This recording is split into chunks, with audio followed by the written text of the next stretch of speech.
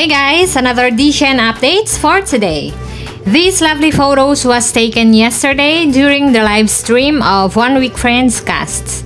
It was posted by Gung Fung Mantra Shenyue's studio with the caption Shenyue as Song Xiaonan came to report today. Frank and sincere ignite the fireworks of youth. And on Star colleague Weibo post, Shenyue said sweet drama is not her comfort zone. Sharing with Linny's hilarious daily life on the set. She would also wanna go camping with Xiao Jinmai and they sang on KTV daily.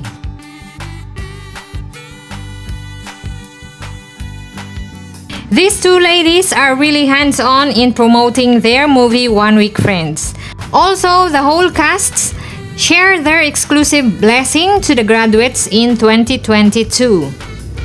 Xiao Jinmai as Lin Xiangxi said I believe we will all have the best future. Linyi as Su Yoshu said you must also take care of yourself.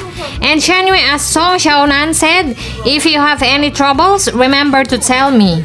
And Wang Jiahui as Jiang Wu said, I look forward to seeing you at the top one day.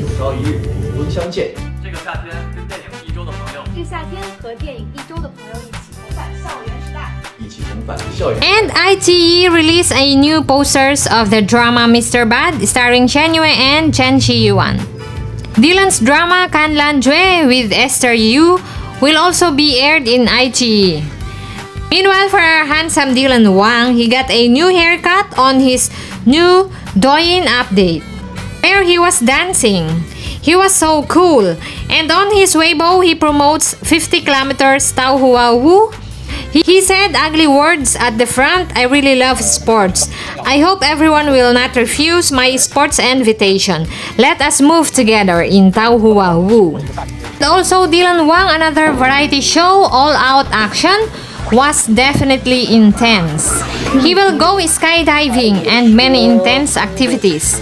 I believe Dylan really suit in this kind of variety show because he is energetic and he loves sports. And this drama Cang Lan Jue released new spills. So that's all for now guys. Thank you for watching, like and subscribe if you haven't yet. And please don't forget to hit that bell button for you to be notified every time I drop new videos. Please be safe and until next time, bye!